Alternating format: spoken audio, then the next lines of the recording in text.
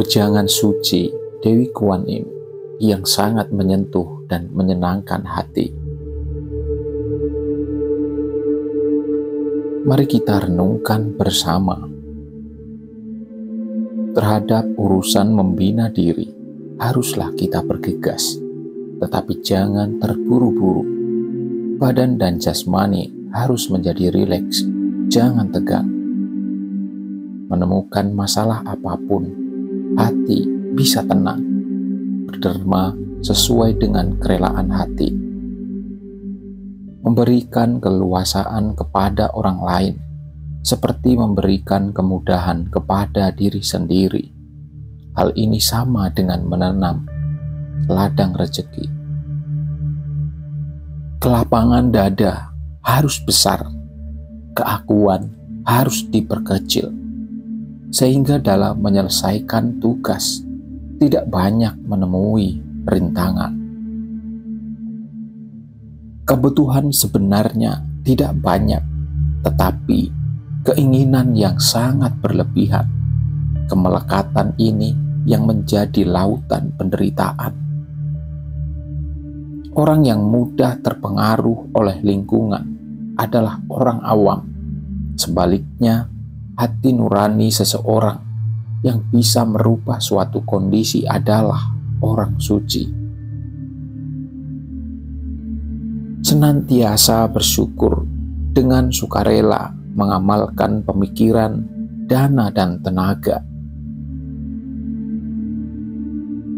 Orang yang aktif bekerja tahan diuji.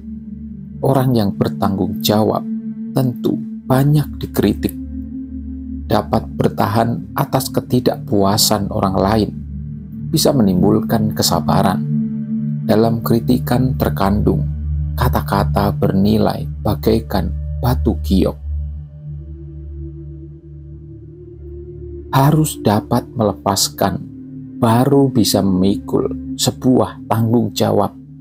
Mampu memikul dan melepaskan, itulah kehidupan manusia yang bebas. Dalam kehidupan ini, coba belajar mempunyai pemikiran. Bila dapat memiliki adalah sangat baik. Kalau tidak, juga tidak ada masalah. Dengan demikian, akan merubah penderitaan menjadi sebuah kebahagiaan. Bila semakin banyak mengetahui kekurangan yang ada dalam diri sendiri, maka kemajuan akan lebih pesat dan semakin teguh dalam keyakinan hanya dengan mengalami diri sendiri, pahit dan ketirnya kehidupan, maka akan termotivasi untuk maju. Ucapan yang sudah di ujung bibir harus dipikir terlebih dahulu, bukan tidak boleh diucapkan, tetapi harus berhati-hati saat berbicara. yang semestinya dimiliki, diperbolehkan, tetapi yang tidak pantas dan tidak boleh dimiliki. Jangan kurangi kebiasaan mencela, lebih banyak memuji. Ini adalah cara terbaik untuk mengurangi dosa yang diakibatkan oleh mulut kita sendiri. Kesuksesan ada tiga tahapan yaitu sesuai jodoh, sayangi jodoh, dan ciptakan jodoh. Dengan kearifan, senantiasa luruskan yang menyimpang. Dengan hati yang welas asih, memberikan keluasaan kepada orang lain. Sayangilah jodoh yang kita miliki. Kalau tidak memiliki, harus menciptakan Bila waktu belum tiba, jangan dipaksakan. Arti kehidupan yang sesungguhnya adalah menerima balasan karma, menunaikan ikrar dan berikrar lagi. Kehidupan manusia yang bermakna adalah memberikan pelayanan kepada orang lain hidup yang bernilai adalah bisa dengan hormat mengabdi. Yang semestinya memaafkan, maafkanlah. Ini adalah kesetiaan dan kemurahan hati. Berhadapan dengan masalah yang pelik, hendaklah dengan kearifan dan belas asih untuk menyelesaikannya, tidak memperhitungkan untung rugi, sehingga kerisauan menjadi berkurang.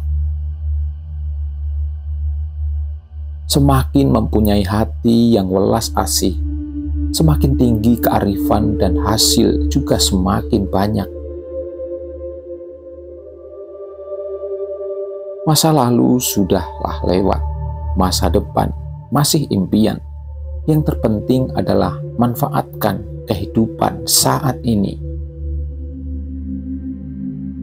Kearifan bukan pengetahuan, bukan perdebatan, tapi melampaui kemelekatan dalam diri kita. Orang yang giat dan rendah hati mendapatkan nilai sempurna. Sebaliknya, keakuan semakin besar, hati semakin tidak tentram. Semua tindakan yang paling mendasar diawali dengan kesabaran. Kesabaran merupakan poin pertama. Dengan kesabaran dapat menghapus semua kejahatan. Dengan kesabaran dapat terhindar dari bencana, dapat mengendalikan amarah, baru bisa melakukan hal yang besar. Busur kalau kaku bisa patah. Orang yang angkuh banyak mendapat rintangan. Orang yang rendah hati akan dihormati. Orang yang menyombongkan diri justru menimbulkan keraguan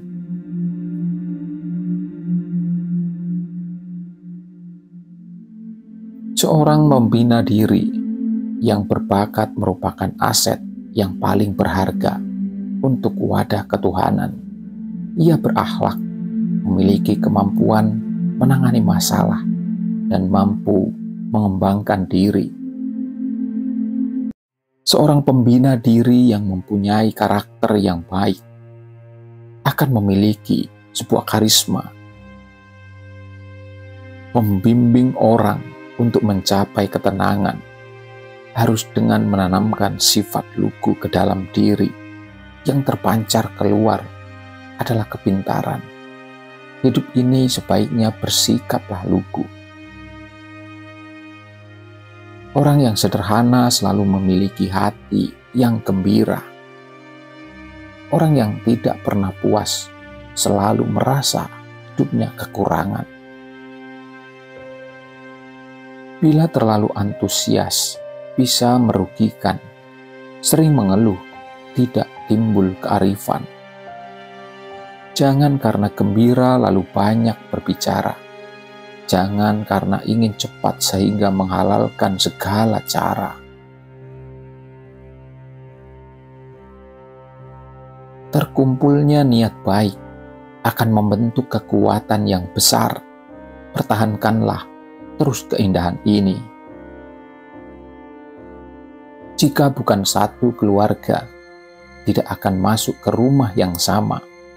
Kalau sudah menjadi satu keluarga, berarti sudah tidak ada orang luar. Semakin merasa diri sendiri adalah keluarga, harus belajar untuk mengalah, memahami, dan memikul tanggung jawab. Lakukan lebih banyak pekerjaan daripada orang lain, baru bisa menjadi panutan. Menghadapi kesulitan yang berat harus dipikirkan dengan baik. Apa cara yang paling tepat? Air bisa berbalik ke arah jika mendapat tekanan. Api yang disiram akan membara. Manusia yang tertekan akan menjadi kacau. Bersama orang yang bersifat kerdil juga dapat memupuk budi luhur kita.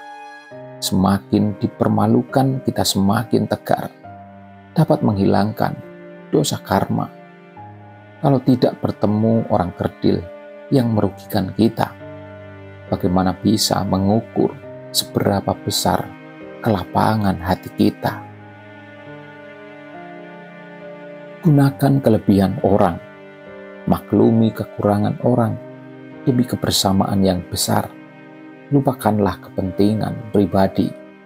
Orang yang welas asih membicarakan tentang kesetia kawanan bagaikan sutra sejati.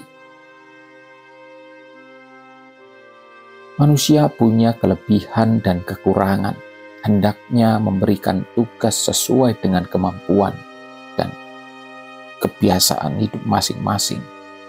Hadapi masalah dengan kerendahan hati. Lahir, tua sakit mati adalah hukum alam siapa pun tidak bisa untuk menghindarinya.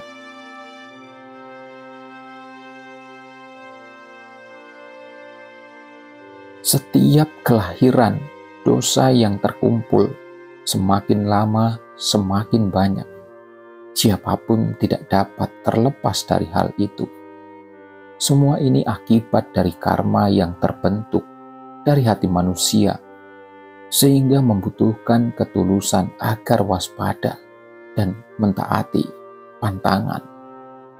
Skenario kehidupan terbentuk dari akumulasi perbuatan di masa kehidupan lampau. Terimalah dengan gembira, hadapi setiap saat dengan realistis. Jika berkeluh kesah dengan pintu hati yang terbuka, maka nasib pun akan berubah.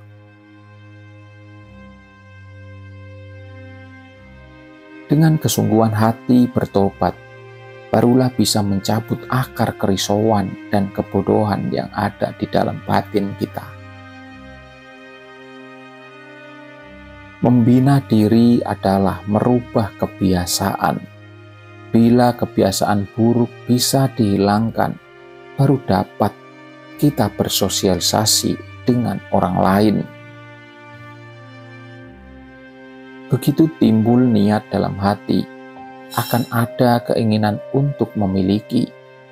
Jika bisa didapat, akan bahagia. Jika tidak, akan menimbulkan penderitaan. Dapat atau tidak dapat, sudah menanam karma. Jika bisa menghilangkan sifat ini, kita akan berkembang lebih dari yang sebenarnya. Jika dalam hati ada yang tercerahkan, maka dalam melaksanakannya akan ada tata kerama. Introspeksi dan menghiasi umat manusia.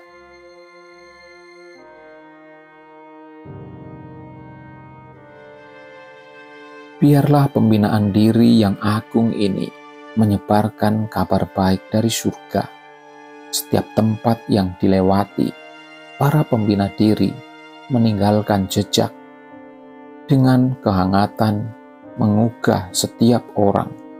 Bencana jauh hati manusia pun menjadi sirna. Welas asih yang besar dapat membuka jalan. Perasaan senasib dan sependeritaan bisa menjadi jembatan. Kearifan yang besar dapat menenangkan hati manusia.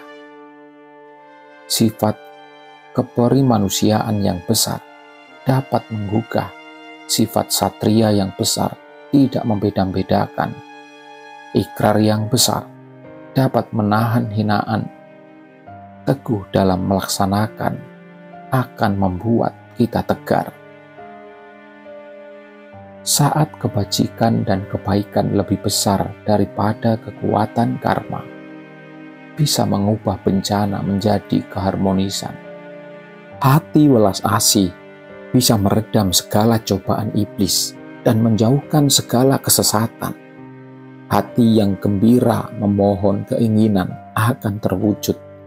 Hati yang sukarela dalam berderma akan mendapatkan keselamatan. Terima kasih. Semoga kata-kata bijak ini dapat bermanfaat. Semoga semua makhluk hidup berbahagia